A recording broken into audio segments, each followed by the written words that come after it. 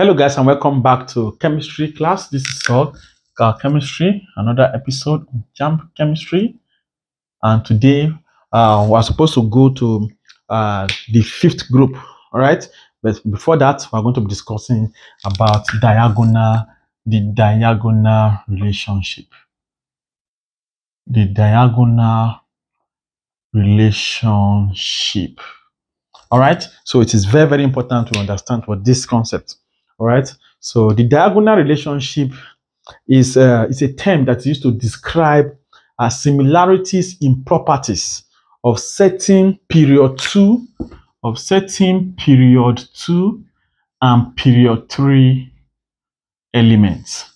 All right, it's a term that's used to describe similarities in properties of certain period two and period three elements diagonally placed. Diagonally placed.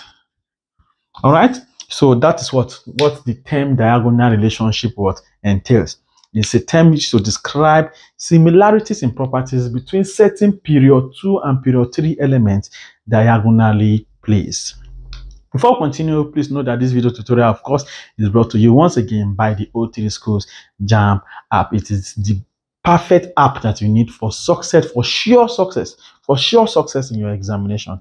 It has all that you need. All the past questions are on the app. So many practice mode that will make you, that will make, that will put you in the position as if you are writing your JAMB exam. There's a practice mode on the app. There's a study mode on the app. There's a uh, mock mode. There's an exam mode. You can take exam. You can see you score your scores, and then you can what improve your confidence before the main exam. The app has all that you need. Wonderful features such as the question search feature, the classroom feature where you be where you be learning. When you are in a particular question, you can ask the the chat bot any question you want to ask relating to what that particular question and it will give you what answers that will take you to the what? It will give you answer that will take you to the that will direct you to the correct option to pick right? It has wonderful features so that the utme challenge that we conduct for all students who are partaking in JAMB every year we conduct that challenge every week every week every week till one week to what? To the JAMB exam all right students win prizes and of course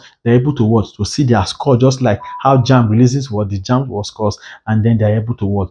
To improve on their what? On their weaknesses. Wonderful features such as what? There's, there's a gaming feature where you can have fun while you are learning. So you can do play who wants to be a millionaire on the uh, on the app right? And play wants to be a millionaire on any subject and questions on that subject from JAMB will be what? We ask will be asked what? You'll be asked and then you have to answer them and what? And win some virtual money the money is not real oh. don't come and message me and say that uh, ah i want five thousand dollars i me want to give you five thousand dollars now so please it's just a virtual game that was designed to make you what relax and have fun while you are what you are learning. In case you maybe you are in noisy environment and you do not want to what uh, practice heavily, so you can just play the game. You ask you some questions. You see, all in the bid or to what to learn. All right, activation of this app is 3000 naira. It's a one-time activation fee, right? So if you want to get the app, the app is available for both Android phones, available for both uh, laptops, for computers, for PCs. So in case you want to get the app or you want to activate the app after downloading the app from Play Store,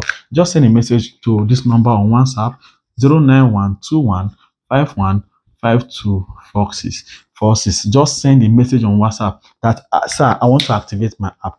Or, sir, I want to download the app. So any question that you have relating to the app, please direct them to this number on WhatsApp. So we're talking about diagonal relationship. We said it's a term that is to describe certain or similar properties between certain period 2 elements and period 3 elements diagonally what place so now i'm going to what uh maybe use a table to what to show you uh the periodic table and then i'll show you what our diagonal relationship what uh happens. All right so let's see.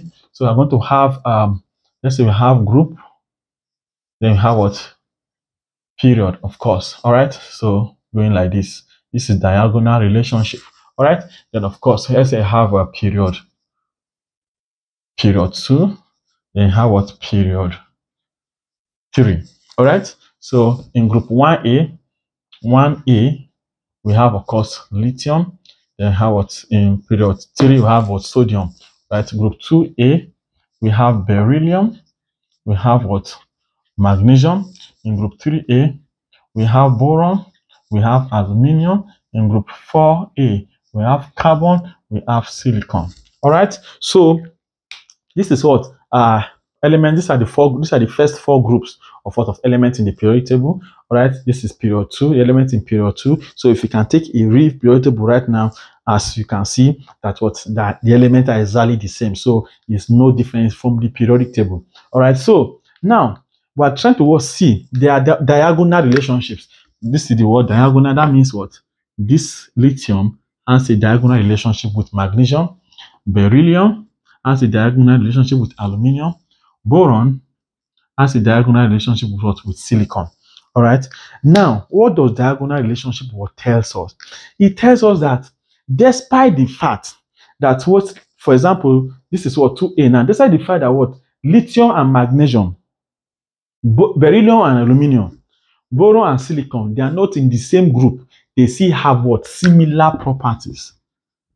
They still have similar properties right? So it means that what, despite the fact that lithium is not in group 2A, it shows or behaves like what, like group 2A what element. It has the properties of what, or group 2A what elements. All right. Now, for example, right, like boron and silicon, they are both semiconductors. Boron and silicon, boron and silicon, they are both what? Both semiconductors. But do you know that boron and silicon both form acidic oxides? They both form acidic oxides. They are not in the same group, right? But they both form what acidic what oxides. So they show what similarity in what in properties. They show similarities in properties. Now, as an example to explain what the diagonal relationship, I'm going to take uh, lithium and magnesium as a perfect example. These two together. All right.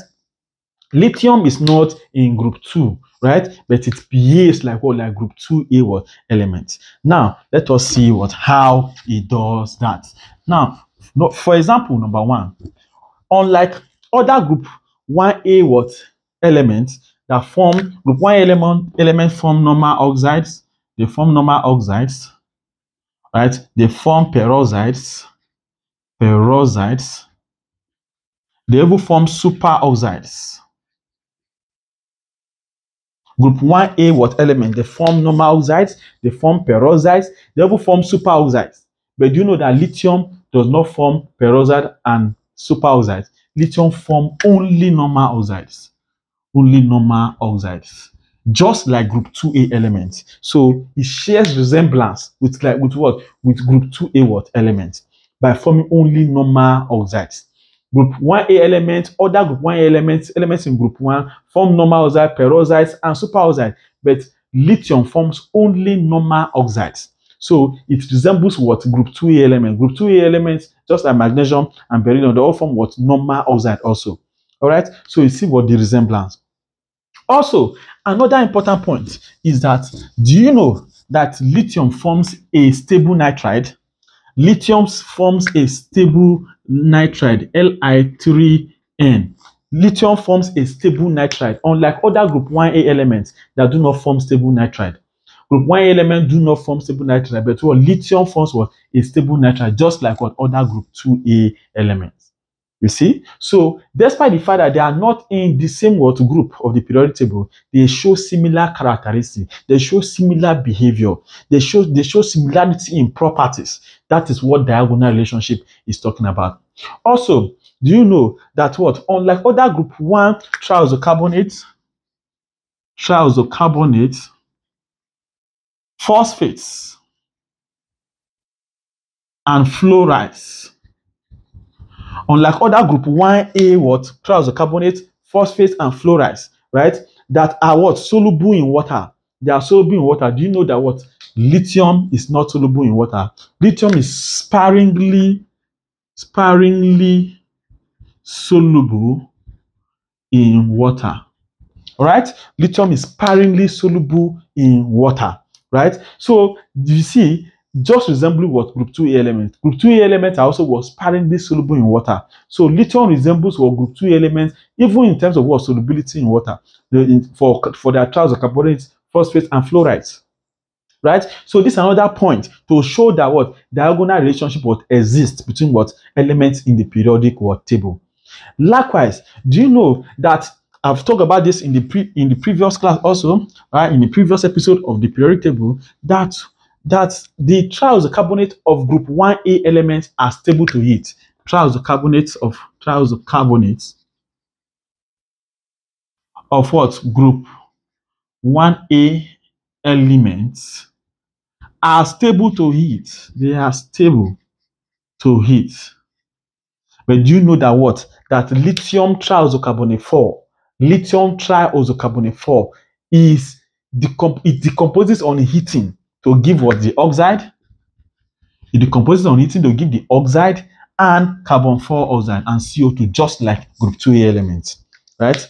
Unlike what? Other group 1A elements, uh, group 1A um, elements whose trioxocarbonate are stable to heat, lithium trioxocarbonate 4 is not stable to heat. It decomposes on heating to give what the oxide and what and carbon 4 oxide, just like group 2A element. So if you see that what see between what lithium and magnesium, you see that what they have what similar what characteristics, they have what similar what properties. So that means that what diagonal relationship actually what exists between what elements in the periodic table. But now, how, why? Why does this happen? Now, remember that when I was telling you about teaching you about periodicity or properties of elements before now, right? I've talked about in the previous episode periodicity or properties of elements. If you have not watched it, you have you are not doing yourself. Please go back, look for that video and watch and watch it immediately, right? And I remember telling you in that what video that what that electronegativity electronegativity and ionization energy right even including what electron affinity they decrease down the group decreases down the group right? But increase but increase increase across the period right? Right? That means what? Electronegativity and ionization energy they decrease what? Down the group. But increase across the period. Down the group they decrease down the group they decrease. Across the period they increase. So if you see this is a decrease this decrease this is what? Increase. As as you can see these are two opposing word tendencies. This one is going this way this one is going what the other way. They are opposing word tendencies. Now people have the idea that what if what a relationship if what a relationship between what elements if it is not diagonal that means it will not have any effect. Because this tendency this opposing tendency will cancel each other out. This uh this one that is going this way and this one is going this way they will cancel each other out and then this one will have what no effect. Instead they will show what similar what property they will show similar characteristic they will show similar behavior. So that is why we see that what elements that are diagonally placed in the periodic table have what similar characteristics, right? So that is what the concept of diagonal relationship. That despite the fact that an element may not be- belong to a particular group, right, but it will have what similar properties as what as what another what group. All right. So please take note of that. That's diagonal relationship. Make sure you like this video. Make sure what you subscribe to this channel so that you can get notification whenever we publish a new video. And make sure that you share this video to what to your friends, to your class groups, and to your to your family friends who are preparing for what for various exams. Right. And I'll see you in the next episode.